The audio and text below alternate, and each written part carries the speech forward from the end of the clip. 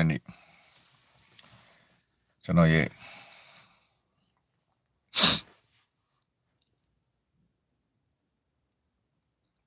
မနေ့ပိုင်းလိုက်ရှိုးလေးပါကျွန်တော်ရဲ့ဒါပရီ vacation လဲစမှာပါဒီနေ့တနေ့ရောက်တော့လဲမှာပါရောက်တဲ့ခါကျရင်ပြမှာပါအလုံးမင်္ဂလာပါနော်အဲကိုဆွဲပြောထားတာလေးကိုနားထောင်ကြည့်ကြပါနော် လေးရာတွေသိသုံးရာတွေတန်မှန်းလဲကျွန်တော်လည်းမသိပါဘူးသိရင်ကျွန်တော်ရောင်းစားလိုက်ပြီပေါ့ဗျာအဲ့ဒါနဲ့ကျွန်တော်လည်း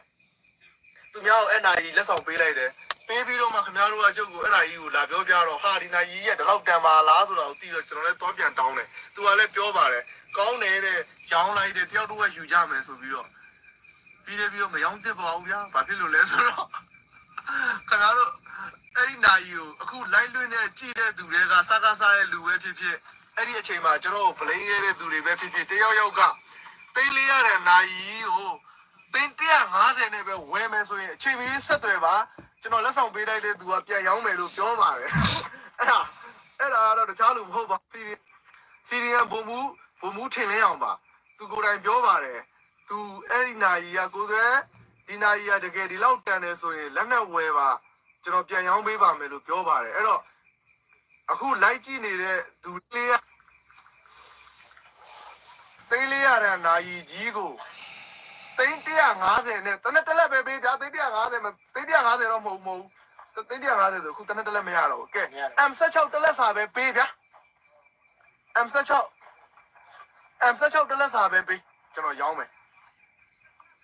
M16 တက်လက်စာပဲပေးအဲ့ဒီသိန်းလေးရတဲ့နာယီကြီးကိုရောင်းမယ်ဘယ်သူဝဲမလဲ လေးလံတင်လေးလည်းတင်မယ်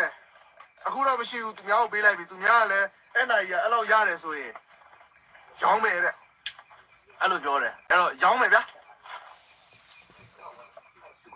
အပိုင်းဟုတ်ပေါ့ဟုတ်ပေါ့ဟာကျန်းလိုက်တာကျန်းတယ်ရေးစားကျန်းကျန်းတယ်သူကြွေးရတာဒီလိုတော်လေးအော်နော်ရုံးမွေးနေကြွေးရတာဟောနော်ရုံးမွေးနေစားပေးရမှာပါစားကြပါအောင်လို့ဟုတ်ကဲ့လေမုန်တိုင်းဟင်းညို့ရှာရရတောင်းတတယ်ရှာရမှာ လေးရှာရတောင်းတလို့အာနော် happy birthday နော် happy birthday နော်နော်ယူမနှက်ပြန်ပါရှောင်းဟာ happy birthday မနေ့ပြန်ပါလားဒီနေ့သေးအမင်းကောင်မလေးလုပ်ပေးတာမလားသိတယ်မင်းတို့ bread တွေပတ်စံမရှိဘူးဆိုတာဟေးငါတို့ bread မဟုတ်မေးပါလို့မေးပါ sorry sorry ကျွန်တော် bread တွေအရင်ကကိုက bread ဆိုတော့ bread လို့ခေါ်တာပါနောက်မခေါ်တော့ပါဘူးတောင်းမှပါလေဟုတ်ကဲ့ဟိုစတာမဟုတ်တကယ်မခေါ်တော့ဘူးတကယ်တကယ်ကျွန်တော်အာကိုသိန်းလွင်ကတော့ကာဒီယာ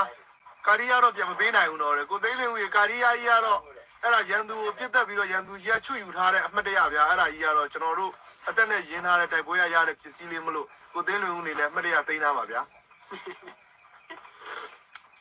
အာဟုတ်ကဲ့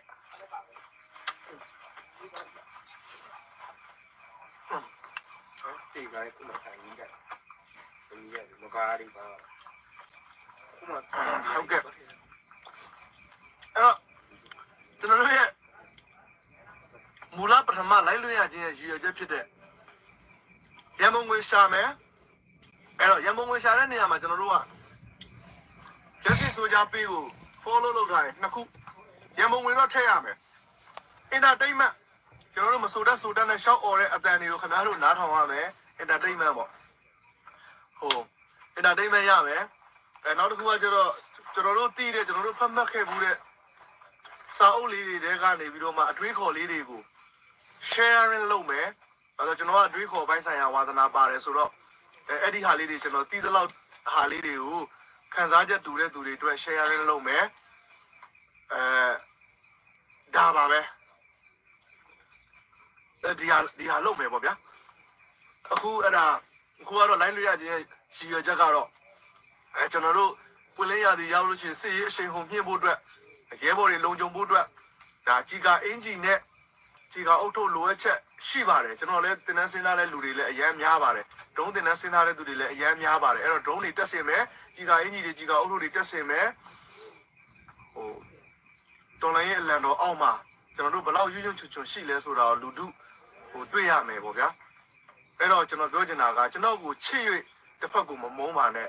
ကျွန်တော်ပြောရမယ်အချစ်ကိုအချစ်နဲ့ထပ်တူကြတာပဲကောင်းပါတယ် အချစ်အချစ်ကိုအချစ်နဲ့ထပ်တူကြတာပဲကောင်းပါတယ်တစ်ဖက်ကိုချစ်ရင်တစ်ဖက်ကိုမုန်းသောဆိုတဲ့ဟာမလုပ်ပါနဲ့ကျွန်တော်ကကျွန်တော်ထားခဲ့ဘူးတဲ့ EHD ကိုကြီးစားတွေထဲက EHD ကိုခုတည်းချစ်ပါတယ်။ဘာဖြစ်လို့လဲဆိုတော့ကျွန်တော်တို့ကအချစ်နဲ့စားခဲ့ရတာဖြစ်တဲ့အတွက်ကြောင့်မို့အချစ်ကအချစ်အတိုင်းလေးပဲဆက်သွားပါမယ်။အဲ EHD နဲ့လမ်းခွဲတဲ့အခါကျရင်လည်းဟိုမချစ်လို့ဆိုတာထက်မုန်းလို့ဆိုတာလည်းမဟုတ်ပါဘူး။သို့တော် ရက်တီချက်ရှင်သန်ပုံချင်းကြွာချတဲ့အခါကိုယ့်လမ်းကိုရှောက်လိုက်ယုံလေးရလွင်းရင်အချစ်မပြတ်ပါဘူး။အဲ့တော့အချစ်ကအချစ်တိုင်းလေးပဲကောင်းတယ်။ဟိုစားချစ်ပြီးရင်လည်းအဆုံးထိချစ်တာလည်းကောင်းတယ်။အဲ့တော့ကျွန်တော်ကချစ်ချင်းမြတ်တာကိုသဘောကျတဲ့သူဖြစ်တဲ့အတွက်ကြောင့်မို့ကျွန်တော်တို့ကိုချစ်တယ်ဆိုရင်ဟိုကိုယ်ကျွန်တော်ကိုချစ်ရတခြားသူကိုမမုန်းပါနဲ့လို့အဲကျွန်တော်မေတ္တာရက်ခံချင်ပါတယ်ဗျာ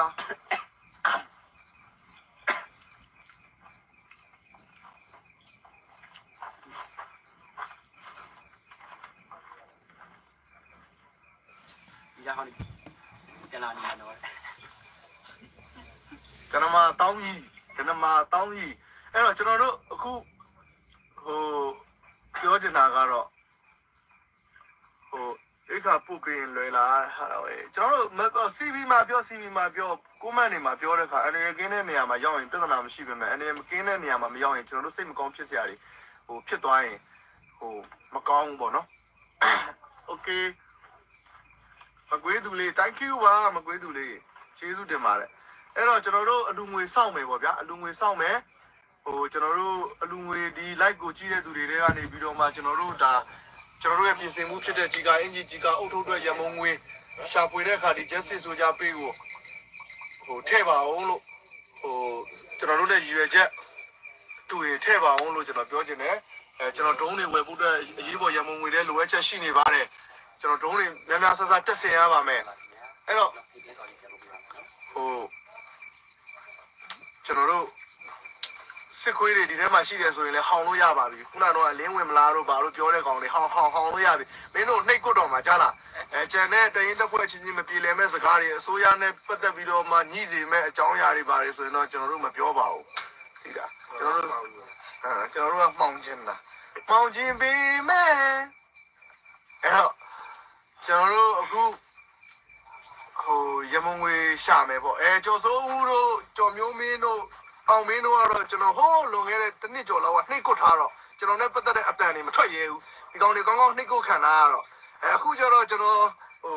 ကြားပြစစ်ကြောင်းမှာတောင်းဝင်မထမ်းဆောင်တော့ဘူးဆိုတော့အဲသူတို့ကနေပြီးတော့မှအဲပျော်ကြတာပျော်ကြတာသိတာပျော်လင့်နေတာခေါင်းကြီးတို့ကအဲပြောလိုက်သေးတယ်အဲဒီကောင်လေးကလေဟိုဘလို့ထင်လဲမသိဘူးငါငါ့ကိုမင်းတို့ဘာ DSC စစ်တပ်ကတူစင်းတဲ့ကောင်ထင်နေရလား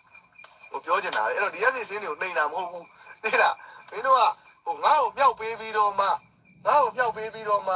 ငါနဲ့သူများနဲ့ ပြဿနာတက်အောင်မင်းတို့ကလုပ်တာဟာဇွဲကစီယိုရေးဆွဲရင်ကောင်းတယ်ဘာဖြစ်တယ်ညာဖြစ်တယ်ဇွဲကဘလို့တော်တာအဲလိုတွေပြောပြီးတော့မှအဲသူကအဲအဲယောက်ျားပိသားနဲ့ဆုံးဖြတ်ဆိုဇွဲကဇွဲကဘလို့တော်တာဘာညာပြောပြီးတော့မှဇွဲလူတွေကိုဘူတာဘောကဘလို့ယူသွားတာကျော်ရစေဝါကဘလို့ယူသွားတာအဲကြောင့်လို့ဇွဲကမကျင်တတ်တာဘူတာဘောနဲ့ကျော်ရစေဝါနဲ့ဇွဲနဲ့လည်းမတဲကြဘူးဘာညာအဲရတိုက်ပေးတာရတိုက်ပေးတာ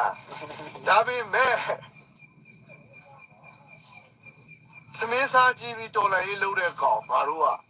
အဲ့တော့မင်းတို့ဘလို့ပြောပြောမင်းတို့ခိုင်ကြီးနေတာကလွင်ဘာမှမလုပ်ဘူးမင်းတို့ကငါလုံးကချီစားကြည့်ပြီးတော့မှခြံစောက်ခွေးအစင်ဟောင်နေတဲ့ကောင်တွေပြောတဲ့စကားကိုဟိုဘယ်လိုပြောရမလဲအုံနောက်ထဲမထည့်ဘူးပေါ့ကွာအဲ့တော့မင်းတို့ကငါနှိတ်ကွတ်မယ်ဟာတဲ့လားမင်းတို့ကငါကောင်းကောင်းနှိတ်ကွတ်မယ်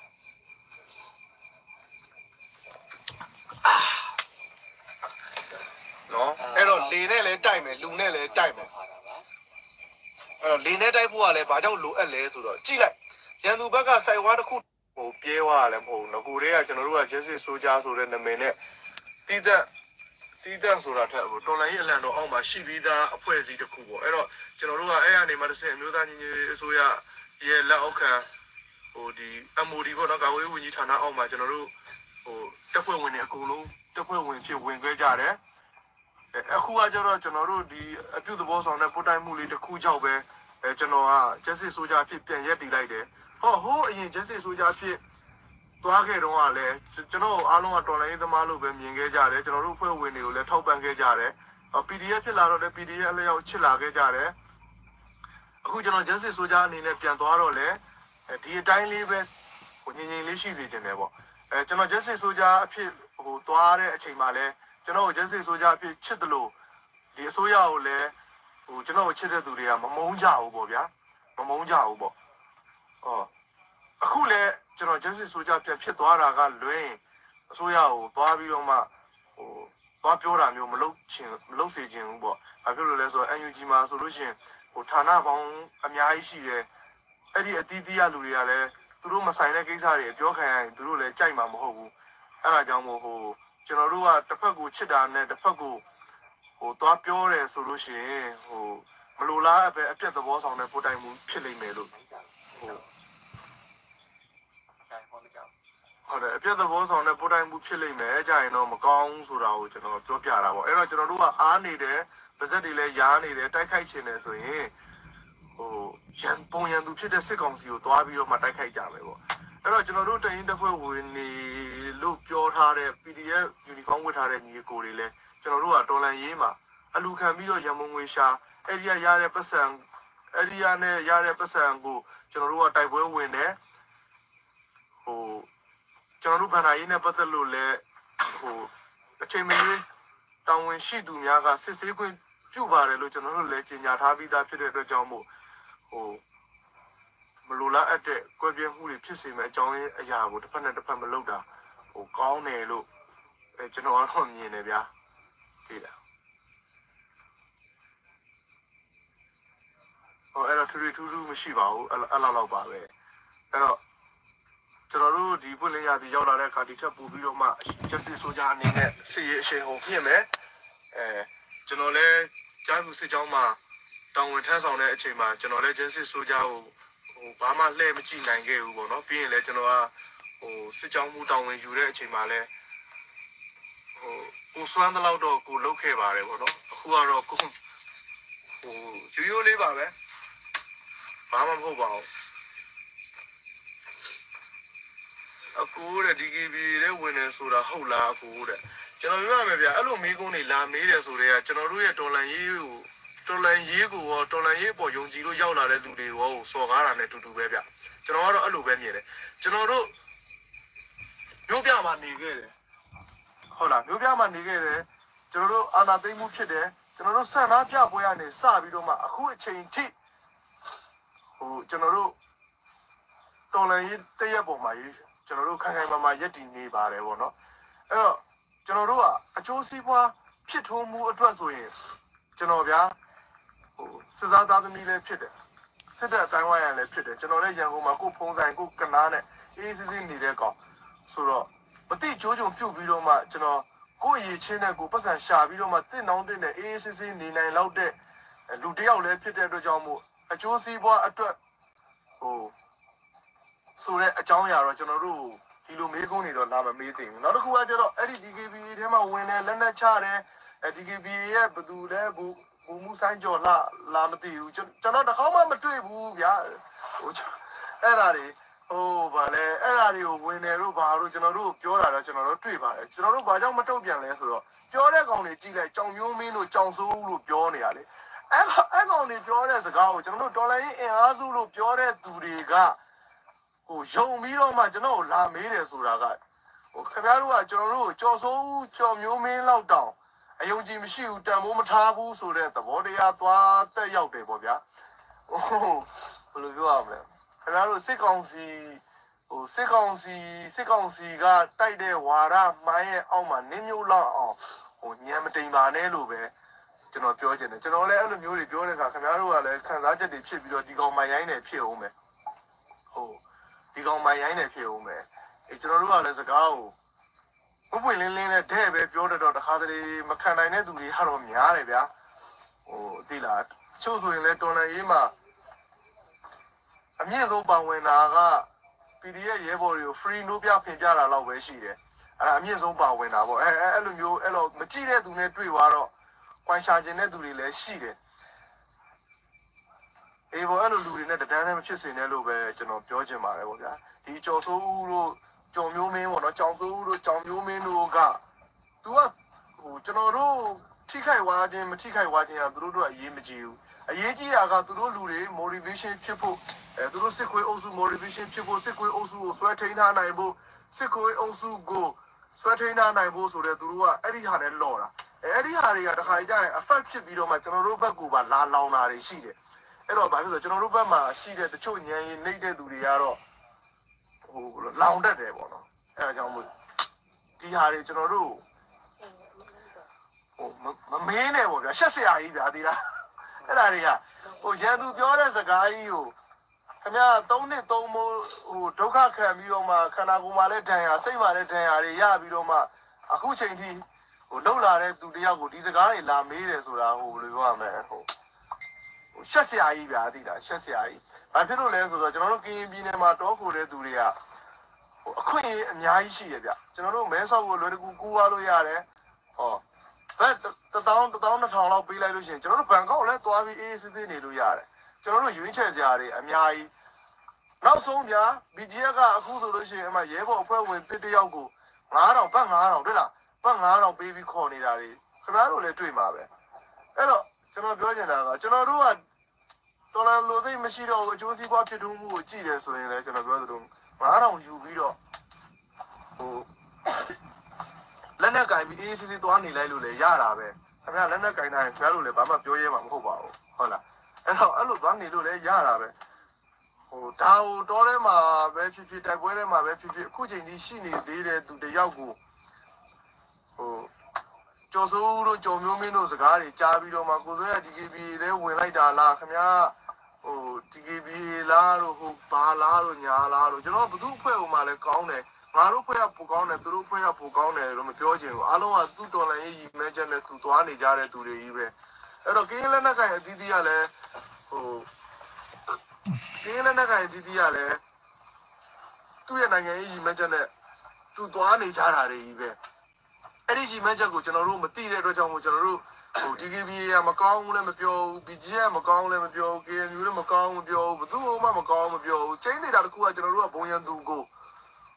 တိုက်ထုတ်ရမယ်အဲ့တော့ကျွန်တော်တို့ရဲ့ justice ဆိုကြတဲ့မူဝါဒကိုဟိုအရင်တည်းကကျွန်တော်တို့အခိုင်အမာပြောခဲ့တယ် ကျွန်တော်တို့တိုင်းသားလက်နက်ကင်အားလုံးနဲ့စစ်ကောင်စီကိုတိုက်ခိုက်တော့တိုင်းသားလက်နက်ကင်အားလုံးနဲ့မဟာမိတ်လုပ်မယ်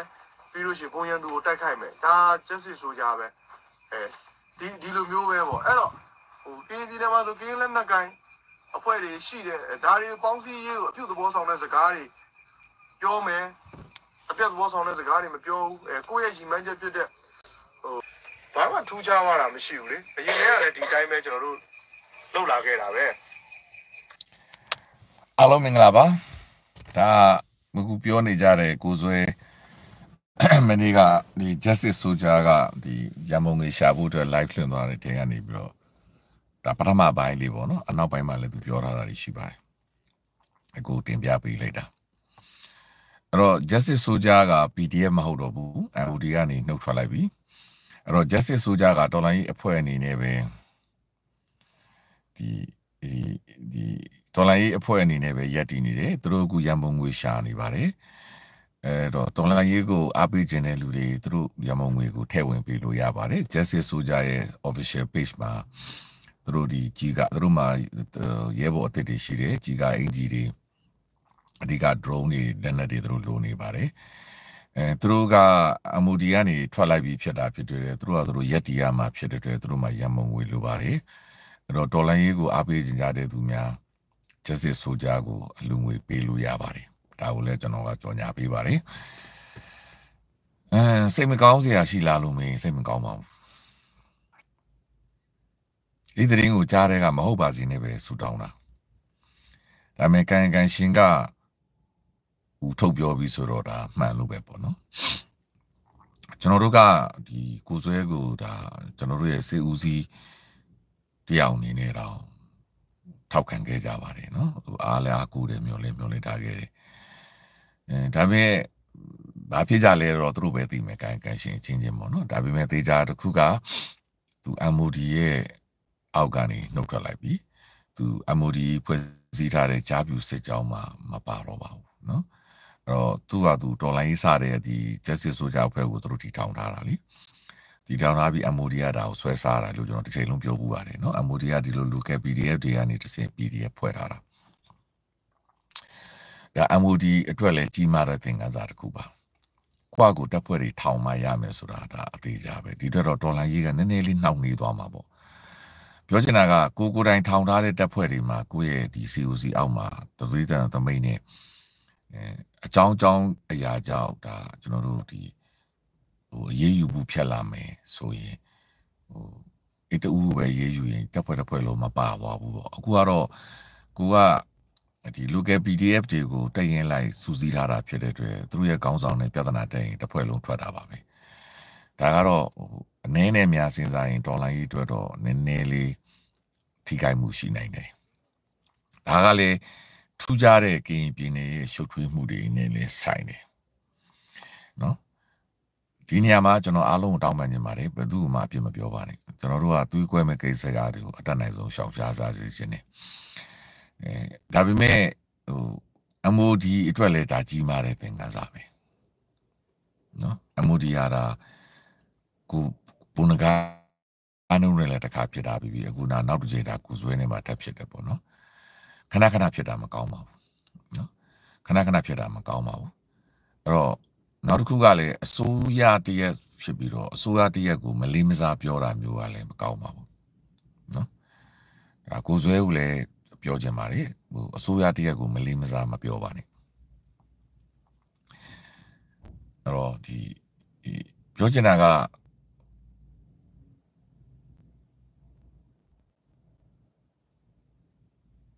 MOD ဒါမင်းအောင်နိုင်နေရမှာ စိတ်တုံးရထားရင်သူတို့ဒီလိုပြောသူတို့ဒီလိုပြောပါမလားပြောချင်တာက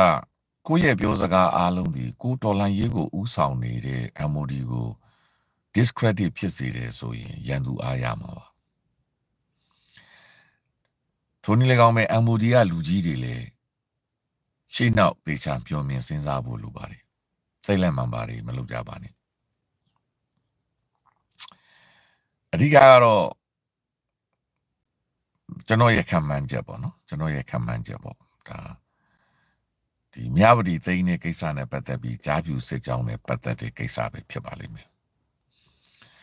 အဲ့တော့ MOD အနေနဲ့ကလည်းဒီဒီ KNU ရဲ့နယ်မြေထဲမှာ PDF စစ်ကြောင်းတွေထားထားတဲ့အခါမှာသူတို့မှာဒါပုတ်တိုက်မှုတွေရှိကိုရှိမှာဘာလို့ဆိုတော့ဒီရှမ်းမြောက်နဲ့မတူဘူးရှမ်းမြောက်ကသူကချေရှင်းလာတိုက်တာ ဒီမှာကမတိုက်ဘဲနဲ့စစ်ကောင်စီနဲ့ဘုံနေမြဲကြားနေပဲနေခြင်းနဲ့မှာ DKB တို့တို့ BGF တို့တို့ရှိနေတဲ့ခါကြတော့ဒီ KNL ဆိုတဲ့ဒီတက်မှန်5တက်မှ6ကလည်းသူတို့မှလည်းအင်အားတစ်ခုအရာအပြည့်စုံသေးတဲ့ခါကြတော့ညှိညှိနှိုင်းနှိုင်းလုပ်ရတဲ့ခါမှာအဲ့ဒီမှာရောက်နေတဲ့ကျွန်တော်တို့တော်လှန်ကြီးကိုမောင်နှမများဟာအားလုံးရဲ့မျက်နှာကိုကြည့်ပြီးနေနေရတာဘယ်သူနဲ့မှရန်သူဖြစ်လို့မရဘူး။ ကြောက်စောစောကကိုဆွဲပြောရတဲ့စကားကိုအပြည့်အဝလက်ခံတယ်။သူတို့ BGF လည်းရန်ရှာလို့မရသလို PDB လည်းရန်ရှာလို့မရဘူး။ဘာဖြစ်လို့လဲ။သူတို့ဒီကြည့်နေနေရတာ။နော်ရန်ဘယ်သူနဲ့မှရန်သူလုပ်လို့မရပါဘူး။အဲ့ဒီအနေထားကနေ MOD က PDF စစ်ကြောင်းတွေဖွဲ့တဲ့အခါကျတော့ဟိုကိုလူဆိုပြီးတော့ PDF တွေကိုထည့်တာပေါ့ဒီတိုင်းသားကရင်တပ်ဖွဲ့တွေနဲ့ဆိုင်ကိုလူဆိုပြီးတော့ PDF တွေကိုထည့်တာပေါ့ပြောချင်တာကဗျာပြည်မကလူတွေကို PDF ဆိုပြီးတော့ NUG က ဝင်ထည့်တာပေါ့နော်ဝင်ပြီးတော့ဒီဖွဲ့တာပေါ့ဒါပေမဲ့ဒီတိုင်းသားဒီနဲ့လေဒီဒီနေရာမှာစစ်ကြောင်းတွေဖြစ်ရင်တိုင်းသားဒီ KNU ကစစ်ကြောင်းမှုတွေသေချာဖြစ်မှာသေချာတယ်နော် KNU ကမပါဘဲနဲ့ဗျာစစ်စင်ရေးမှာလုပ်လို့မရဘူး KNL ကအဲ့လိုအဲ့တော့အဲ့လိုဒီ အစင်စစ်ကိုကဲမှုအောက်ကနေပြီးတော့နားလည်မှုတွေလွဲကြတာတို့ဒီမဟုတ်လေဟိုတိုက်ပွဲရဲ့လိုအပ်ချက်ရအရေးယူမှုတွေဖြစ်လာတော့မယ်ဆိုရင်ကိုကငကူတဲကကိုဖွဲ့ထားတဲ့ PDF တပ်ဖွဲ့အစ်စ်မဟုတ်တဲ့ခါကြတော့ဟိုသူတို့ရဲ့ရှိရင်းစွာလူကဲကိုဆွဲတယ်လို့ justice soldier ကိုသွားပြီးတော့ကို PDF အသွင်ပြောင်းလိုက်တဲ့အခါမှာသူတို့ခေါင်းဆောင်နဲ့ဖြစ်ရင်တစ်ဖွဲ့လုံးသူခေါင်းဆောင်တော့ပါသွားတာပါပဲအဲ့တော့မေးစရာမေးခွန်းက NUG ကို MOD ကိုအစိုးရလို့သတ်မှတ်မသတ်မှတ်တာ ਨੇ အများကြီးဆိုင်တယ်အဲ့တော့ MOD အောက်မှာနေမလားငါကားဆောင်အောင်နေငါတို့အဖွဲ့အောက်ကိုပြန်သွားမလားဆိုတဲ့မေးခွန်းဖြစ်လာတဲ့အခါမှာအဲ့တော့ဒီဒီအဖွဲ့လုံးတို့ထွက်သွားတာပါပဲပထမကျွန်တော်ထင်တာကဒါ ကျွန်တော်မနေ့ကထိပေါ့ကိုဆွဲလိုက်ကိုနားမထောင်ရတဲ့အချိန်မှာထင်တာကကိုဆွဲတယောက်ပဲနှုတ်ထွက်သွားတယ်လို့ထင်တာဒါပေမဲ့ဦးကိုဆွဲလိုက်ကိုတေချာနားထောင်လိုက်မှာသူတို့ justice soldier တစ်ဖွဲ့လုံးနှုတ်ထွက်သွားတာဒါဝန်နေစရာပါကျွန်တော်တို့ရဲ့အစိုးရကိုကို PDF တွေကတော့မလေးမစားဖြစ်နေတဲ့သဘောကိုတွတ်တွတ်တွေ့ရတယ်စိတ်မကောင်းပါဘူး အဲ့ဒါကြောင့်စိတ်မကောင်းသေးတာကျွန်တော်တို့ MOD ကလည်းစီယုံရေးလူသေးတယ်လို့ပဲပြောရမယ်ထင်ပါတယ်အဲ့ဒါကြောင့်စိတ်မကောင်းဖြစ်နေတာနောက်တစ်ခုကတော့ဒါကျွန်တော်တို့ကိုယ်တိုင်ဖွဲ့ထားတဲ့တပ်ဖွဲ့မဟုတ်ဘူးသူတို့ရှိပြီးသားအဖွဲ့ကိုကျွန်တော်တို့ကယူဆလိုက်တာလीအဲ့တော့သူတို့မကျေနပ်ပြထွက်တာပေါ့အဲ့တော့ကျွန်တော်တို့က စဉ်းစားပုံတွေကွာတာပေါ့နော် MOD နဲ့ PDF တွေကြားထဲမှာရှိတဲ့ဒါအကွဲပြေးပေါ့ဘာလဲဆိုတော့အောက်ခြေက PDF တွေကခန်းစားနေရတာ NUG ကလူကြီးတွေက MOD ကလူကြီးတွေကအောက်ခြေကိုမကြည့်ဘူးသူတို့ကသူတို့ရက်တီရတယ်အချိန်တန်ကြရင်သူတို့ကကောက်စားတယ်သူတို့မှစီစီရဲနေရတယ်သူတို့ကိုရမုံငွေရှာစားရတယ်အချိန်တန်ရင် MOD ကလာပြီးပနာယူသွားတယ်ဆိုတဲ့အတွေးမျိုး ဝင်တာမျိုးတွေဖြစ်နိုင်တယ်အဲ့ဒီကနေမှဟိုဒီဆက်ဆံရေးတွေတခုခုပေါ့ဒီ chain of command နဲ့ပတ်သက်ပြီးအမြင်မတူတာတွေဖြစ်လာတဲ့ခါကျတော့သူတို့အရေးယူမှုတွေလုပ်မယ်ဆိုရင်ဒါမတရားဘူးသူတို့ကအစိုးရဆိုတဲ့အရှိန်ဝါကိုသုံးတယ်ဆိုတဲ့ပုံစံမျိုးကိုလည်းမြင်နိုင်တာပေါ့အမူဒီကကြည်တန်တော့လေသူဟာသူတက်ဖွဲ့တွေဖွဲ့ပြီးတော့လေအချိန်ကမပေးနိုင်တဲ့ခါကျတော့သူဟာသူရက်တည်နေတဲ့အဖွဲ့တွေကို PDF တဲ့ ဒါတွတ်သွင်းတယ်လို့ပဲခေါ်ရမှာပေါ့နော်စီယုံပြီးတော့ဖြစ်တဲ့ခါကျတော့အဲ့တော့ MOD ကမိုးကြွရှေကိုတွေကစစ်ကြောင်းမှုတွေလာဖြစ်တယ်နော်မိုးကြွရှေကိုတွေကစစ်ကြောင်းမှုတွေလာဖြစ်တယ်ပေါ့လာဖြစ်တဲ့ခါကျတော့ အဲ့မှာအဲ့ဒီမိုးကြရွှေကူတွေကအောက်ချီမှာမင်းတို့ကလည်းငါတို့ကိုမထောက်ပံ့ထားဘူးငါတို့ကကိုလည်းရှာစားနေရသေးတယ်ငါတို့လည်းအတက်နိုင်ဆုံးတိုက်နေတဲ့အချိန်မှာမင်းတို့ကအပေါ်ကနေလာပြီးဆရာလုပ်တယ်အမှားပြင်းဖြစ်တယ်ပြစ်ပြောတယ်ဆိုတဲ့ဟာမျိုးတွေနဲ့ပုတ်တိုင်မှုဖြစ်တဲ့သဘောပါပဲဒါပဲသူတို့ထုတ်မပြောလဲဒီသဘောပဲတိုက်ရောက်တယ်အဲ့တော့တရားတစ်ခုကဒါကကရင်နေပြီ MOD လည်းဘာမှလုပ်လို့မရဘူးเนาะတရင်နေပြီပါ အဲ့တော့ KNU KNL ရပဲဒီကိစ္စကိုဖြေရှင်းရမှာပြောချင်တာစီရေးဦးဆောင်ရမှာအဲ့တော့ဟိုသူတို့ဘက်ကစဉ်းစားပုံကလည်းဖြစ်နိုင်တာတစ်ချက်ကမင်းတို့ MOD အောက်မှာနေလဲငါတို့ကရင်လက်အောက်ပါပဲတိုက်ရမယ်တူတူငါငါထွက်ပြီးလွတ်လပ်နေပြီးတော့ငါငါကရင်နဲ့အတူတူပဲတိုက်တာပို့ပြီးတော့ငါတို့လွတ်လပ်တယ်ဆိုတဲ့အထွေးမျိုးဝင်သွားတာလည်းဖြစ်နိုင်တယ်ဒါလည်းယုတ်တိရှိတဲ့ ယုတ်တိရှိတဲ့စင်ကြီးပဲပေါ့အငင်းပွားချက်ပဲပေါ့အဲ့တော့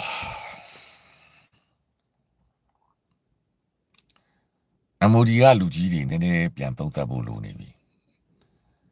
ဟိုပြည်တွင်းမှာရှိတဲ့စကိုင်းမှာလည်းပြဿနာတက်ဒီလိုကင်းပြည်နယ်မှာလည်းပြဿနာတက်တာကမကောင်းပါဘူး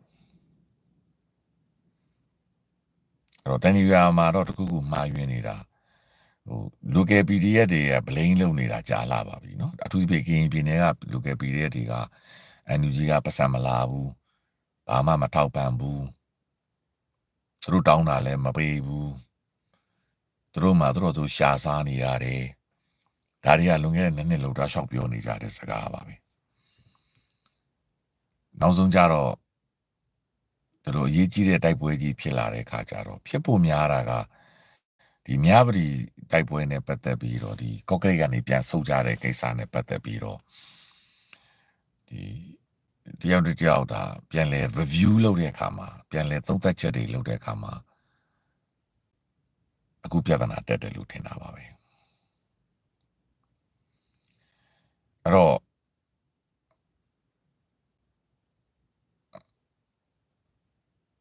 MOD ထဲမှာပဲစက်နေနိုင်အောင် လူငယ်တိုင်းသားအဖွဲ့တွေကို MOD ကမထိန်ထားနိုင်တော့တဲ့အကြောင်းရင်းပါပဲအဲ့တော့ဒါက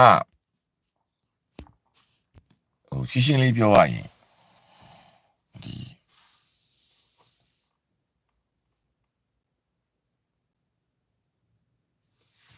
အခုချိန်မှာကျွန်တော်တို့ကဒီ အပြစ်ပြောခြင်းမလုပ်ဖို့လိုအပ်တယ်ဆိုင်ရင်နာထု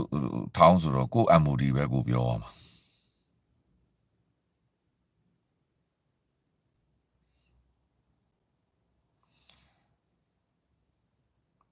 အဲ့တော့ကျွန်တော်ကတော့ကို MOD ပဲကိုပြောမယ်လူငယ်တော်လှန်ရေးသမားတွေကိုဘာမှအပြစ်ပြောစရာမရှိပါဘူးနော်ဒီ justice soldier ကိုလည်းဘာမှအပြစ်ပြောစရာမရှိပါဘူးကျွန်တော်တို့လူကြီးတွေအသုံးမကျလို့ဒီလိုဖြစ်တယ်လို့ပဲကျွန်တော်ကတော့ကိုကိုကိုပဲ accountability responsibility နဲ့ပြောချင်တယ်လူငယ်တွေဒီလိုမြင်သွားတာကိုမကောင်းပါဘူးနော်သူတို့ကဘဝတွေအသက်တွေနဲ့ယဉ်ပြီးတော့သူတို့ဘဝလေးကိုသူတို့တိဆောက်ထားကြတာအဲ့တော့ကိုက မှန်မှန်ကန်ကန်သူတို့ကိုကိုယ်ထဲမှာနေအောင်မထားပြီးပြောရအိမ်ပြောအောင်မထားတော့အိမ်သားတွေမပြောတော့အိမ်ကနေထွက်ပြေးတာပေါ့ဗျာဒါပါပဲပြောအောင်ထားရမှာလीနော်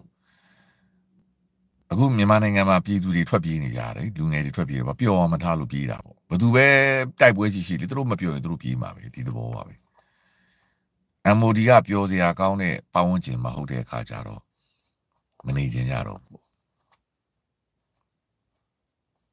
MOD ကိုပဲအဖြစ်ပြောရမှာလူကြီးတွေကိုပဲအဖြစ်ပြောရမှာ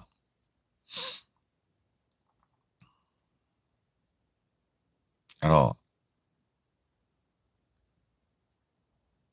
အခုလိုရှင်းရှင်းလင်းလင်းဖြစ်သွားတော့လေကောင်းပါတယ်နော်ဘာလို့လဲငကိုတွေကဒီနေရာက MOD ရဲ့ဂွင်လည်းမဟုတ်ပါဘူးနော်ငကိုတွေက KNL ကိုအားဖြည့်ပေးဖို့အတွက်စစ်ကြောင်းတွေစစ်ကြောင်းတွေတိဆောက်ထားတာပေါ့နော်အဲစစ်ကြောင်းတွေတိဆောက်ထားတာဖြစ်တဲ့အတွက်ဒါ KNL ရဲ့ဥဆောင်မှုအောက်ကပဲကိုစွဲတို့ကသွားမှာပါနော်အဲ့တော့ KNL မှာရှိတဲ့ဒီဒီစစ်မဟာမှုတွေပေါ့နော်ဒီဒီတက်မှာ6တက်မှာ9ရဲ့တရားစစ်ဦးစီးတွေရဲ့ဥဆောင်မှုအောက်ကပဲကိုစွဲတို့သွားမှာပါအဲ့တော့ဟိုတက်မှာ9တက်မှာ6ရဲ့ခေါင်းဆောင်တွေကိုယ်တိုင်က DKBA တွေ BGF တွေနဲ့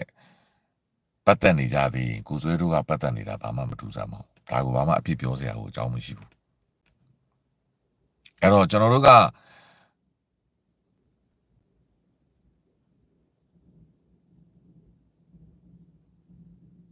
စိတ်လိုက်မှန်ပါတွေမဖြစ်ပါရမဖြစ်ကြဘူးပဲလို့တာပေါ့နော်အဲ့တော့သူတို့ဖွဲ့လေးနဲ့သူတို့သူတို့ AC ရက်တည်နေတယ်အဲ့တော့ အဲ့တော့သူတို့ဖွဲ့လေးကိုသူတို့ကရက်တည်တယ်သူတို့ဖွဲ့ကသူတို့လူငယ်တွေနဲ့သူတို့ပြောပြောပါပါရက်တည်နေကြတာကိုကျွန်တော်တို့ကဘာမှအပြစ်ပြောစရာကိုမမြင်ပါဘူးသူတို့ကိုပို့ပြီးတော့စာနာမှုတောင်ဖြစ်ပါတယ်ကျွန်တော်တို့အစိုးရအနေနဲ့သူတို့ကိုပို့ပြီးထောက်ပံ့ပေးရမှာလေသူတို့ကိုပို့ပြီးပြုစုပေးရမှာပို့ပြီးပြိုးထောင်ပေးရမှာသူတို့ကိုသေချာမွေးမြူရမှာသူတို့ကိုသေချာတဲ့ဤပညာထောက်ပံ့နေသင်တန်းတွေနဲ့လက်နက်ဆိုင်ရာထောက်ပံ့နေပေးရမှာ ဟောဘာမှထောက်ပံ့မပေးပဲဒေါ်လာကြီးအတွက်လုပ်တယ်ဆိုပြီးမင်းလည်းဒေါ်လာကြီးလုပ်တယ်ငါလည်းဒေါ်လာကြီးလုပ်တယ်မင်းကဘာမှမလုပ်ပဲအပေါ်ကနေ MOD NUG ဆိုပြီးဆရာလာလုပ်ရင်တော့ဘယ်သူမှလက်မခံပါဘူးအဓိကပြဿနာအဲ့ဒါပဲဖြစ်ဖို့များတယ်အဲ့တော့ကျွန်တော်အမြင်ပြောရရင်ဒီကိစ္စဟာ MOD ကိုပဲအဖြစ်ပြောရမှာဆိုင်ရင်နာနာထူထောင်းရမှာကျွန်တော်လူကြီးတွေပဲ လူငယ်တွေကိုမစည်းရုံးထားနိုင်လို့ဒီလိုဖြစ်သွားတယ်လို့ပဲဝမ်းနေစွာနဲ့ပဲပြောရလိမ့်မယ်ဒီလူငယ်တွေကိုလုံးဝအဖြစ်ပြောစရာအကြောင်းမမြင်ပါဘူးသူတို့ PDF ထဲကိုမရောက်ခင်တည်းကသူတို့ justice soldier ဆိုပြီးတော့သူတို့ဘလို့တီထောင်ခဲ့တယ်လူတိုင်းသိပါတယ်နှစ်ယောက်တစ်ဖွဲ့ကနေပြီးတော့ DKB ကိုမျက်နှာလုတ်နော် PGF ကိုမျက်နှာလုတ်ပြီးသူတို့ရှင်သန်ခဲ့ရတာ MOD ကသူတို့ကိုမွေးမြူခဲ့တာမဟုတ်ဘူးခင်ဗျ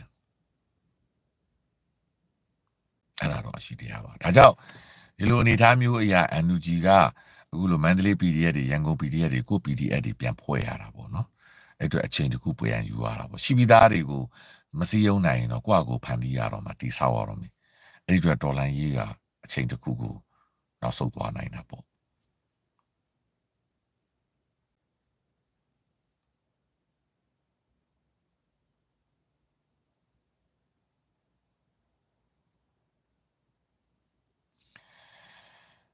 အဲ့တော့ဒီတယောက်ကမလိုလားအပ်ပဲနဲ့ထက်ကတက်ခါရေးနေလို့ဘလားလုပ်လိုက်ပြီဘာနီးဘူးဆိုတဲ့လူတွေလည်းမသိဘူးကျွန်တော်တို့ရဲ့ A group မှာလာပြီးတော့ဟိုဟိုဘယ်လိုပြောမလဲဟိုအခွင့်ကောင်းယူပြီးတော့လာပြီးသွေးထိုးဖို့ဝါဒဖြန့်မှုမကြိုးစားပါနဲ့ကျွန်တော်ဒီ live တွေဒီ comment တွေအကုန်ကြည့်နေတာနော်ဘယ်သူကမှဘာအခွင့်အရေးမှမပေးနိုင်ပါဘူး ဒီ PDF လူငယ်လေးတွေဟာဒီ justice ဆိုကြတာကျွန်တော်တို့ရဲ့ပြည်သူရဲ့ကျွန်တော်တို့ရဲ့သားကောင်းတွေပါကျွန်တော်တို့ရဲ့လူငယ်တွေပါသူတို့ဒီစစ်အာဏာရှင်ကိုတော်လှန်မယ်ဆိုတဲ့စိတ်တစ်ခုတည်းနဲ့ဘဝတွေအသက်တွေကိုပေးဆက်ထားရတဲ့လူငယ်တွေပါသူတို့သုံးနှစ်ကြာငက်ပြတ်နေတဲ့အချိန်မှာဘယ်သူမှလာပြီးကြွေးထားတာမဟုတ်ပြည်သူကကြွေးထားတာပါပြည်သူအားနဲ့သူတို့တိဆောက်ထားတာပါဒီလူငယ်တွေမှာလွတ်လပ်စွာပြောပိုင်ခွင့်ရှိပါတယ်နော် အခုကိစ္စကသူတယောက်တည်းလည်းမဟုတ်သူ့ရဲ့ justice ဆိုကြတစ်ဖွဲ့လုံးဆိုတာဖြစ်တဲ့အတွက်အများနဲ့ MUG MUD နဲ့ဖြစ်တာကိုစဲတယောက်တည်းကနှုတ်ထွက်သွားပြီး justice ဆိုကြက PDF မှာကြံခဲ့တယ်ဆိုရင်လည်းဒါမေးစရာရှိသေးတယ်ဒီမိကွန်းတို့အခုက justice ဆိုကြတစ်ဖွဲ့လုံး PDF ဖြစ်နှုတ်ထွက်သွားတာအဲကြောင့်ဒီ justice ဆိုကြတစ်ဖွဲ့လုံးမှာကျွန်တော်တို့လူငယ်တွေအများကြီးရှိနေတယ်ဒါကျွန်တော်တို့ရဲ့သားကောင်းတွေဗျ သူတို့ကသူတို့ရက်တည်ခဲ့တာသူတို့ထင်မြင်သူတို့ရှာစားခဲ့တာသူတို့လက်နဲ့သူတို့ရှာစားခဲ့တာသူတို့ကသူတို့စစ်အောင်စီကိုစိန်ခေါ်ခဲ့ပြီးတတ်တိုက်ခဲ့တာနော်စစ်ကောင်စီရဲ့တပ်စခန်းတွေကိုအသက်နဲ့ရင်ပြီးတွတ်တိုက်ခဲ့တာထွက်ပြေးခဲ့တာဒါကိုစွဲအများကြီးပြောထားပါတယ်နော်တော့တို့တို့ရက်တီထားပြီးတော့ MOD ကနေကောက်စားတာဒါကျွန်တော်အများနဲ့ပို့ရင်လေ MOD ကတို့ကို PDF တွေကောက်သွင်းတာဒါပေမဲ့မပြေလည်ဘူးပြန်တယ်တို့လို့တို့လုပ်တယ် ဘာမှဒါကို MOD ကနစ်နာစရာအကြောင်းမရှိဘူးကိုဒီလူငယ်တွေကိုကိုကမှန်မှန်ကန်ကန်မစီယုံထားနိုင်တာက MOD ကလူကြီးတွေရဲ့အပြစ်ပါလူငယ်တွေမှာအပြစ်မရှိဘူးနေဦးတော်လိုင်းရဲ့ဂျန်စည်းတွေနဲ့စားထားတာဂျန်စည်းတွေအကုန်မှန်တယ်ခင်ဗျလူငယ်ဖြစ်တဲ့အဖြစ်တွေသူတို့အပြောကြမ်းရင်ကြမ်းမယ်သူတို့မှာ emotion ပါရင်ပါမယ်သူတို့ပြောတာဆိုတာအမှားယွင်းရှိရင်ရှိနိုင်တယ်ဒါကိုကျွန်တော်တို့ကပုံကြီးချဲ့ပြီး ဒီလူငယ်တွေကိုဘာမှအပြစ်ပြောစရာအကြောင်းမရှိဘူးဒီဂျန်စည်းရှိလို့ဒီဒေါ်လာကြီးအောင်မြင်လာတာဒီဂျန်စည်းတွေကြောင့်ဒီနေ့လာရှုကိုကိုကန်ရသွားတာမေ့ပါနဲ့ဒီဂျန်စည်းတွေကြောင့်တပိတ်ချင်းရတာဂျန်စည်းတွေကြောင့်ရခိုင်ကအေအေကအခုလိုအောင်မြင်မှုရနေတာအဲ့တော့ကျွန်တော်တို့ရဲ့မူရင်းမူသားဖြစ်တဲ့ဂျန်စည်းတွေကိုအပြစ်ပြောခြင်းစော်ကားခြင်းသမုတ်ခြင်းအဲ့ဒီဂျန်စည်းတွေကို ဆွဆွဲခြင်းဖဲကျင်ခြင်းကိုလုံးဝခွင့်မပြုပါဘူးကျော်ကျင်နာကကျွန်တော်ကတော့လူငယ်တွေဘက်ကအပြေအဝရက်တည်တယ်ဒီလူငယ်တွေဟာရဲရင်တယ်တတ်တိရှိတယ်အမှားယွင်းရှိနေတယ်လူကြီးလို့တို့ကမစင်စားရတာဒီရှိမှာပေါ့ဒါလူငယ်တပါကိုယ့်အိမ်မှာသားသမီးတွေရှိနေတာပဲကျွန်တော်မျက်စိနဲ့မြင်အောင်လူတိုင်းကိုပြောချင်ကိုယ့်အိမ်မှာရှိတဲ့ကိုသားသမီးကိုနိုင်လားကျွန်တော်တော့မနိုင်ဘူး ဘာလို့သူတို့စိတ်ထဲနဲ့သူတို့ရက်တည်နေတာကျွန်တော်တို့ခေတ္တကလည်းကျွန်တော်တို့မိဘကိုကျွန်တော်တို့ပုတ်ကန်တာပဲကျွန်တော်ဆိုအမြဲတမ်းပြောပြောနေတဲ့စကားတခုရှိတယ်မိဘကိုကျွန်တော်တို့ကလေ့ကျင့်ပေးရတာအာလှိုင်မင်းဘာစကားပြောတာလဲရှင်းနိုင်ခွဲပြန်ရင်စုတယ်အဲ့တော့9နိုင်မှပြန်တယ်ဘာလို့ရန်ကုန်မှာကလက်ဖိတ်ဆိုင်ကရှင်းနိုင်ခွဲမှလူစီတာဗျာရှင်းနိုင်ခွဲပြန်ပြီးအိတ်ခိုင်ဘယ်သူကအိတ်မှာလဲတက်ကူသူကြောင်းသားအဲ့တော့9နိုင်ပြန်တယ်အာ9နိုင်ပြန်လာရင်လဲစုတယ် အခက်မသိရင်ရိုက်ခံရတယ်နောက်နေ့ကျရင်နောက်တစ်ပတ်လောက်ကျရင်9နိုင်ခွဲလောက်လုပ်ယူတယ်နောက်တစ်ပတ်လောက်ကျရင်10နိုင်လောက်လုပ်ယူတယ်နောက်တစ်ခါလောက်ကျရင်ညတကောင်မှပြန်တယ်ပြောချင်တာကဘာဖြစ်လို့လဲနောက်ဆိုတဖြည်းဖြည်းနဲ့မိဘလည်းသိစိတ်မပူလာတော့ဘူးပြောချင်တာကကိုကအဲ့ဒီချိန်မှာလဲကောင်းတာကျွန်တော်တို့ခေတ်ကညတကောင်ထိရလက်ဖိတ်ဆိုင်ထိုင်လို့ကောင်းတော့မယ်အခုခေတ်လို့မဟုတ်ဘူးအဲ့တော့ကိုယ့်အိမ်မှာရှိတဲ့ကိုသားသမီးလည်းအခုဒီခေတ်ကကလေးတွေက သူတို့သူတို့သူတို့ရဲ့အမြင်တွေသူတို့အတွေးတွေနဲ့အင်္ဂလန်မှာပဲနေနေ UK မှာပဲနေနေ USA မှာပဲနေနေဥရောပမှာနေဩစတြေးလျမှာနေနေသူတို့လည်းသူတို့အတွေးခေါ်နေနဲ့ပြောတာပဲကိုကိုခေတ်ကအတွေးရတာပြောရင်သူတို့လည်းလက်ခံမှာမဟုတ်ဘူးလူငယ်ကိုနားလည်ပေးရမှာပြီးတော့ကိုဇွဲတယောက်တည်းမဟုတ်ဘူးကိုဇွဲရဲ့ justice soldier အခုလိုက်ထဲမှာထိုင်နေကလေးတွေအကုန်ပါတယ်တကယ်လူငယ်လေးတွေ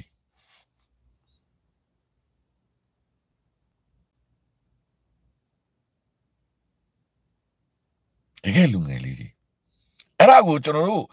MOD ကလူကြီးတွေကမစီယုံထားနိုင်တာလူကြီးတွေအပြစ်ပဲ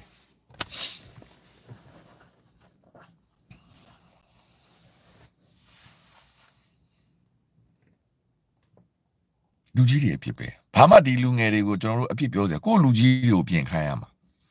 ကိုလူကြီးတွေကိုရှော့ခိုင်းပြီးဒီကလေးတွေကို MOD အောက်ထဲကိုပြန်ရအောင်စီယုံခိုင်းရမှာရှော့ပေးရမှာ ဒီဂျန်စီတွေကြောင့်တော်လိုင်းကြီးဖြစ်လာတာဒီနိုင်ငံရေးသမားတွေကြောင့်ဖြစ်လာတာမဟုတ်ဘူးကတော့မှမမေ့ပါနဲ့ MOD ကလူကြီးတွေကိုပြောခြင်းတယ် MOD ကလွှတ်တော်ကိုယ်စားလှယ်အမတ်ကြီးတွေကိုပြောခြင်းတယ်ဥယျာဉ်မဆရာဥလင်ကိုလက်ဒေါ်စင်မအောင်ဥတီထွန်းနိုင်လူကြီးမင်းများခင်ဗျာလူကြီးမင်းတို့နိုင်ငံရေးသမားတွေကြောက်ဆိုရင်တော့ဟုတ်တယ် NCGUB လို့အစိုးရပဲဖြစ်မယ် ဒီနေ့စစ်ကောင်စီကိုတိုက်နေတာလူငယ်တွေတိုက်နေတာဂျန်စီတွေတိုက်နေတာအဲ့ဒီဂျန်စီတွေမရှိဘဲနဲ့အတင်တို့ NUG အစိုးရပဲဖြစ်မယ် NCGU လို့ပဲဘာမှလုပ်လို့မရဘူးအဲ့တော့ဂျန်စီတွေကိုမထိနဲ့ကလေးတွေမှားပါစေအောင်ကျွန်တော်တို့ဒီကာဘာလောက်ရမှာကလေးတွေမှားပါစေအောင်ကျွန်တော်တို့ဒီကိုသားသမီးလို့ကာဘာလောက်ရမှာ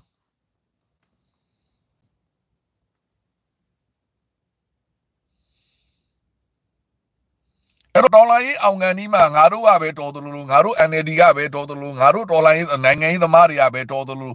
ငါတို့ CSO တွေကပဲတော်တယ်လို့ငါတို့ NUC ဆိုအဲ့ဒီအပေါက်တွေလာမချိုးနဲ့ခင်ဗျားတို့နိုင်ငံရေးဘလောက်တော်တော်ကျွန်တော်ဘလောက်နိုင်ငံရေးပြောတဲ့ပြောတဲ့ကျွန်တော်တို့ကြောင့်ဒီဒေါ်လာရေးအောင်နေတာမဟုတ်ဘူးဒီလူငယ်တွေကြောင့်ဒီလူငယ်တွေရဲ့ရဲရင်မှုတွေကြောင့် ဒီလူငယ်တွေရဲ့စွန့်လွတ်စွတ်စားပေးဆက်မှုတွေကြောင့်ဘသူကပါကောက်စားတော့ဝါပါဦးကောက်စားနေပြီကိုကန်လည်းကောက်စားနေပြီအေးအေးလည်းကောက်စားနေပြီတောင်းပလောင်လည်းကောက်စားနေပြီခစ်တိုင်းခစ်တိုင်းမှာခင်ဗျာဒေါ်လာရေးဖြစ်ခဲ့တာ88ကလူငယ်တွေအများကြီးမပါတဲ့ခါကျတော့ဘသူမှကောက်စားလို့မရဘူး KNU လည်းကောက်စားနေပြီချင်းလည်းကောက်စားနေပြီအားလုံးရဲ့ source ကဘယ်ရလာတာလဲဂျန်စည်းတွေကြောင့်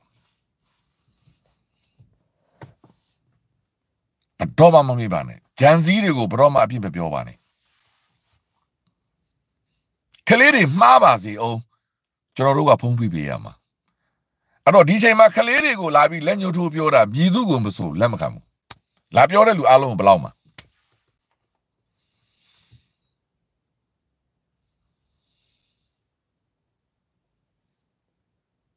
ပြောချင်တာကကိုဇွဲတို့ကို MOD အောက်ထဲကိုပြန်ရအောင် MOD ကလူကြီးတွေပြန်စည်းရုံးပေးပါဒီအကွဲပြဲကိုကျွန်တော်တို့လုံးဝလက်မခံနိုင်ဘူးမရရအောင်ကိုဆွဲတို့ကို PDF တဲ့ပြန်ထည့်ပါ။အော်ပြောအုံပွဲငပြောပွဲနဲ့တောင်းပန်ရမယ်ဆိုလဲတောင်းပန်ပြီးပြန်ခေါ်ပေးပါ။ဒါကျွန်တော်ရဲ့သဘောထားပဲ။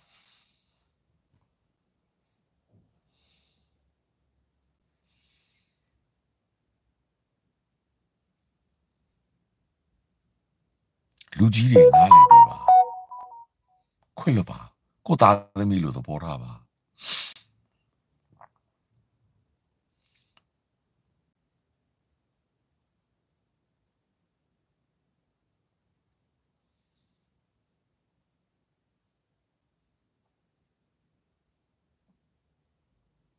ကိုသားသမီးတို့တဘောတာပါအဲ့တော့ဒီကိစ္စမှာ MOD နဲ့ NUG လိုအပ်တယ်လို့ပဲကျွန်တော်ကပြောပြရစီ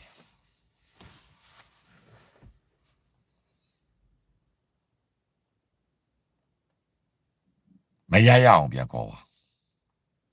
မရရအောင်နေရာပေးပါမရရအောင်ပြန်ခေါ်ပါမရရအောင်နေရာပြန်ပေးပါ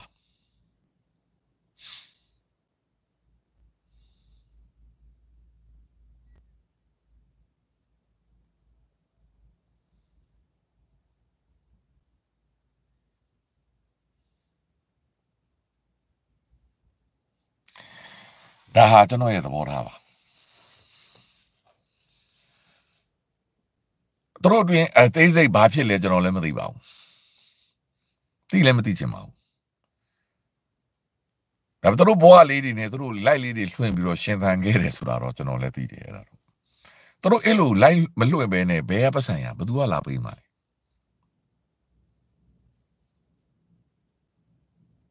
နော် ဒါကြောင့်သူတို့ဘဝလေးတွေနဲ့သူတို့ပြောပြောရှင်နေပါစေကျွန်တော်တို့ရအောင်ပြန်ခေါ်ပါအဲ့ဒါမှသူတို့ကပြန်ခေါ်လို့မလာဘူးဆိုရင်လေသူတို့တွေကိုစောက်ရှောက်ပြီးခေါ်ပေးပါဟုတ်ပါတယ်နော်အဲ့ဒါကျွန်တော်ရဲ့သဘောထားပါဘာဖြစ်လဲကျွန်တော်လည်းမသိပါဘူးဒါပေမဲ့မဖြစ်သင့်ဘူးပြန်ခေါ်ပေးပါ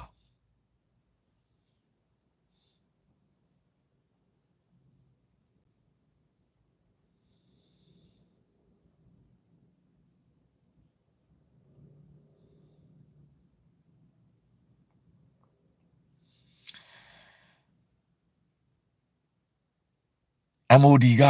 ဒီလူငယ်တွေကိုကာကွယ်ပေးရမယ်။တနိုင်ငံလုံးကိုမကာကွယ်ပေးရင်နေပါဦး။တနိုင်ငံလုံးစစ်ကောင်စီလက်အောက်ကနေမလွတ်မြောက်ပြီးတော့လက်ရှိကျွန်တော်တို့ဂျန်စည်းတွေကို MOD ကဦးစားပေးကာကွယ်ပေးရမယ်။ကိုလူငယ်မှကိုမကာကွယ်ပေးနဲ့တနိုင်ငံလုံးကိုကာကွယ်ပေးမယ်ဆိုတဲ့စကားဟာအဓိပ္ပာယ်ရှိရလား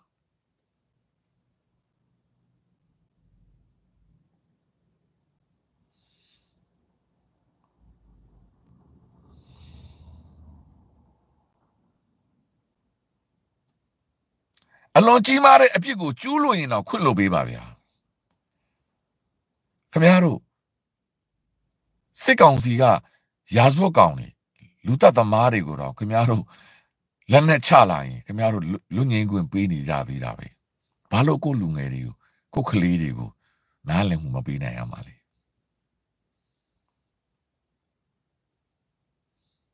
အဲ့တော့ကျွန်တော်ရဲ့သဘောထားသည်အဲ့ဒီ justice soldier ကို MOD ကပြန်ခေါ်ပေးပါသူတို့သူတို့ကိုတောင်းပန်သိရင်တတ်တောင်းပန်ပါမရရအောင်ပြန်ခေါ်ပါအန်ယူဂျီရဲ့မိဘတွေရဲ့ယူငွေထဲမှာပဲထားပါအခုချိန်မှာလဲပြည်သူများကိုပြောချင်တာက justice soldier ကိုထောက်ပံ့ပေးပါထောက်ပံ့ပေးနိုင်တဲ့လူများအားလုံးကလေးတွေကိုထောက်ပံ့ပေးပါ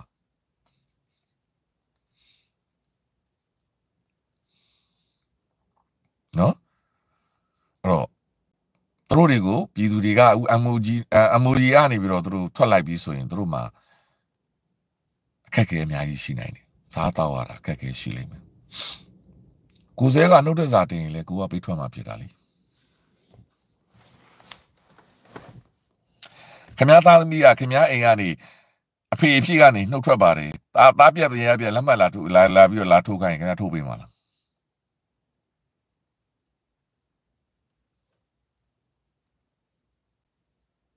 ကျွန်တော်သားကလာပြီးတော့ခင်ဗျားကိုကျုပ်အဖေမတော်နိုင်ဘူးဗျာခင်ဗျားတဲ့ကျုပ်အမွေဖြစ်တယ်ဗျာလက်မှတ်ထိုးပေးဆိုကျွန်တော်သေတော့မထိုးဘူးမင်းကငါကြည့်မရလဲမထိုးဘူးငါသားငါသားပဲငါမွေးတာတာ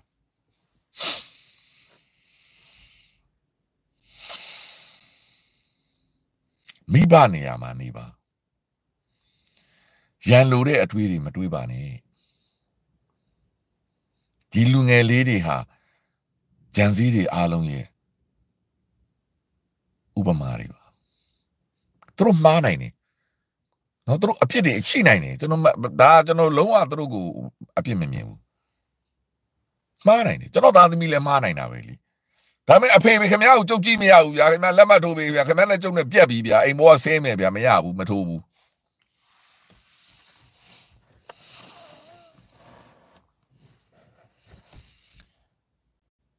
မထိုးနိုင်ဘူးရှင်းတယ် အဲ့တော့ကလေးတွေကိုပြည်သူတွေထောက်ပံ့ပါ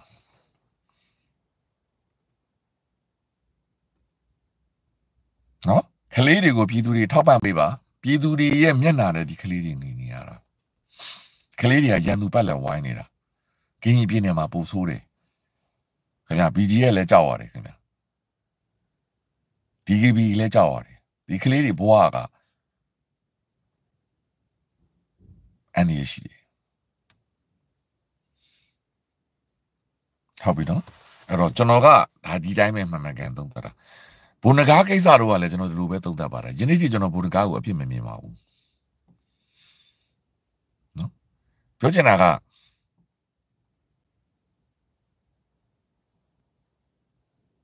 အဲ့ဒီစကားကိုလုံးဝလက်မခံပါဘူးအဲ့ဒါကဂျားတွေကနေလာပြီးရန်တိုက်နေတာ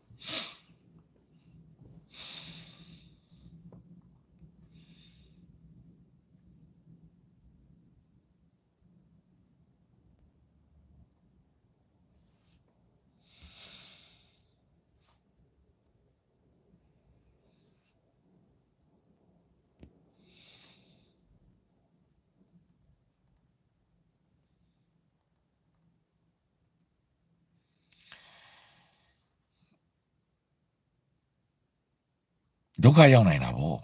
သူတို့ရက်တည်ဖို့အတွက်ခက်ခဲရှိတယ်အဲ့တော့ပြည်သူတွေကမှန်မှန်ကန်ကန်ဒီကလေးတွေကိုစောက်ရှောက်ပေးဖို့လိုအပ်တယ်ဒါပထမအရေးကြီးဆုံးအချက်ပဲနော်ပြည်သူမစောက်ရှောက်ဘူးဆိုရင်ဒီကလေးတွေမှာဒုက္ခရှိတယ်ဒါရှိတရားပဲဒါကြောင့် MOD ကိုထောက်ခံနေတဲ့ပြည်သူတွေကို NUG ကိုထောက်ခံနေတဲ့ပြည်သူတွေကအစအပြစ်မပြောပါနဲ့ ဒီကလေးတွေကိုစောက်ရှောက်ပေးပါ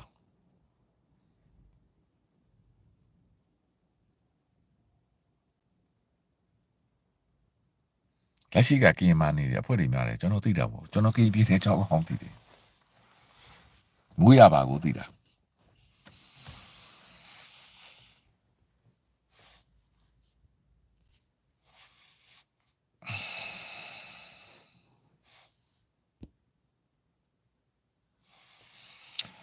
အဲ့တော့ဒါကကျွန်တော်ကိုယ်တိုင်လည်း NUG နဲ့ MOD ကိုမြေတားရက်ခံပါတယ်နော်ကလေးတွေကိုပြန်ခေါ်ပါကိုရင်ဝင်ထဲမှာပဲထားပါတုတ်တက်စာတင်လဲလက်မခံပါနဲ့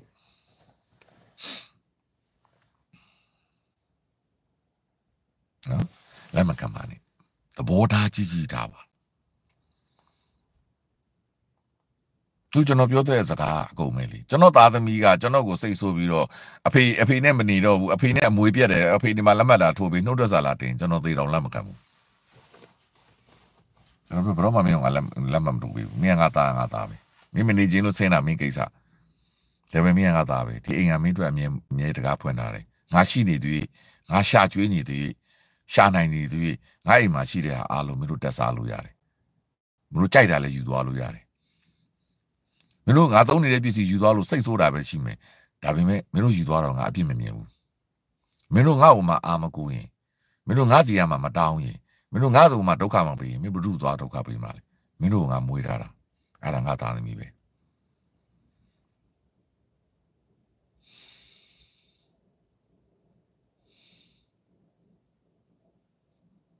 အဲ့ဒီစိတ်ဓာတ်ကို MOD ကထားဖို့လိုတယ်ကျွန်တော်တို့လိုချင်တဲ့အစိုးရဟာ အဲ့ဒီအစိုးရမျိုးကိုလိုချင်တယ်ကျွန်တော်တို့လိုချင်တဲ့အစိုးရဆိုတာပြည်သူကိုတားမိတို့ပဲအုပ်ချုပ်တဲ့အစိုးရပြည်သူရဲ့စကားကိုနားထောင်တဲ့အစိုးရပြည်သူအလိုကိုလိုက်တဲ့အစိုးရငါကငါဆရာကြီးလုပ်ပြီးငါရကောကောပြီးလိုတဲ့အစိုးရမျိုးကိုကျွန်တော်တို့မလိုချင်ဘူးကျွန်တော်လိုချင်တဲ့စနစ်ကအဲ့ဒါမဟုတ်ဘူးဒါကြောင့် ကိုဇွဲတယောက်တည်းမဟုတ်ဘူး justice soldier တစ်ဖွဲ့လုံးပါတယ်လို့အခုသူရဲ့ live မှာသူပြောသွားတာဖြစ်တဲ့အတွက်အဲ့မှာကလေးတွေအများကြီးပါတယ်ဒါကိုကျွန်တော်တို့အဖြစ်မခံနိုင်ဘူးအဲ့တော့ပြည်သူများအနေနဲ့ဒီကလေးတွေကိုစောက်ရှောက်ပေးပါသူတို့လည်းအခုရမုံငွေရှာနေပါတယ်နိုင်တဲ့လူတွေစောက်ရှောက်ပေးပါ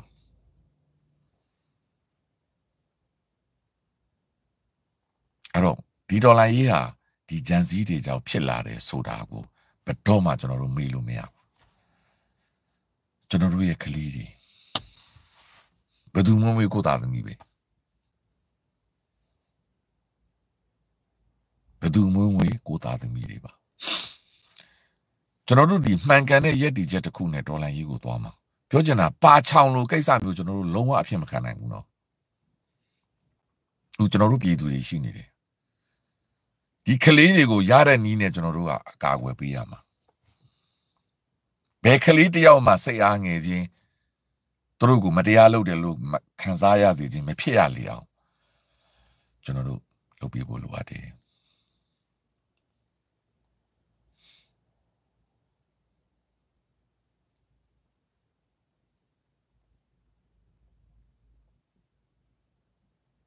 အဲ့တော့ MOD အစိုးရအတွက်နောက်ထပ်ဥပမာတစ်ခုပဲခင်ဗျားတို့ကိုကိုကို legitimate ရှိတယ်ဆိုပြီးတော့ကျွန်တော်ပေါ့ပွင့်လင်းလင်းပဲပြောမယ်ဆရာကြီးလူလူပါလူလူနိုင်ငံရေးသမားတွေလာမလုံးနဲ့ခင်ဗျားတို့ဒီဥစိန်ဝင်အစိုးရပဲဖြစ်သွားမှာဒီကလေးတွေကြောင့်ဒီတော်လိုင်းကြီးဖြစ်နေတာ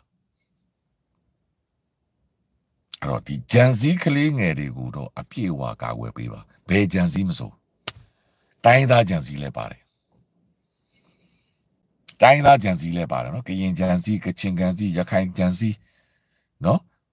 နောက်ပြီးတော့ဒီချင်းဂျန်စီအကုန်ပါတယ်ဒီကလေးတွေကြောင့်ဒီဒေါ်လာကြီးဖြစ်နေတာဘယ်လူကြီးမှသွေးမရဲဘူးအဲ့တော့အဲ့ဒီသွေးရတဲ့ကလေးတွေမှာသူတို့အတွေးခေါ်သူတို့ရှိတယ်အမှားယွင်းရှိနိုင်တယ်သူတို့ပြောဆိုမှားနိုင်တယ်မိဘကိုလည်းပြန်ပြောနိုင်တယ်ဗျာတချို့ဆိုမိဘကိုလည်းစိတ်ဆိုးဆဲရင်ဆဲပလိုက်မယ်ဗျာဒါပေမဲ့ကျွန်တော်တို့နားလည်ပေးရမှာဒါကျွန်တော်တို့ရဲ့သွေးသားတွေကျွန်တော်တို့ရဲ့သားသမီးတွေ အဲကြောင့်အခုဒီပြဿနာဟာကိုယ်ဆွဲရောက်တဲ့ကိစ္စမဟုတ်ဘူး justice soldier တစ်ဖွဲ့လုံးဖြစ်တာဖြစ်တဲ့အတွက်အိမ်မှာဂျန်စီလူငယ်ပေါင်းမြောက်များစွာရှိတာဖြစ်တဲ့အတွက်ဒီကိစ္စကို MOD ကပြန်ခေါ်ပေးပါပြန်စီယုံပေးပါအဲ့ဒီဂျားကာလမှာပြည်သူတွေက justice soldier ကိုလုံးဝအထင်မလွဲပဲကျွန်တော်ပြောသလိုကိုသားသမီးများတစ်ဖွဲ့ဆောက်ရှောက်ပေးပါ လိုအပ်တဲ့ကူညီမှုတွေပေးနိုင်တဲ့လူတွေကူညီပေးပါအားပေးကြပါအပြစ်လုံးဝမပြောပါနဲ့ဒါသည်ကျွန်တော်ရဲ့ရက်တီချက်ဖြစ်ကြောင်းကိုအားလုံးကိုတလေးလေးစားစားတင်ပြလိုက်ရပါတယ်အားလုံးမင်္ဂလာပါကျေးဇူးအများကြီးတင်ပါတယ်